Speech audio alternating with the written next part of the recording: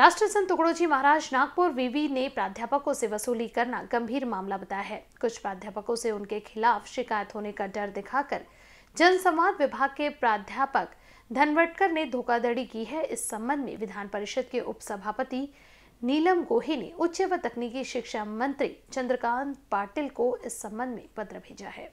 इसमें प्राध्यापक धमनकर को जल्द ही निलंबित करने की मांग की गई है। पत्र के माध्यम से कुरही ने सवाल किया है कि जब सात विभाग प्रमुखों ने कोई गलती नहीं की थी तो फिर डर के मारे लाखों रुपए क्यों दिए गए? प्राध्यापक वसूली करने वाले धवनकर से घबराए बिना पुलिस में शिकायत कर सकते हैं, लेकिन डर की वजह से रकम क्यों दी जाए, इस बारे में भी पूछताछ होना अनिवार्य है। इन न्यूज़ के लिए कैमरा पर्सन राजकुमार मोहड़ के साथ रूपा पंडित की रिपोर्ट।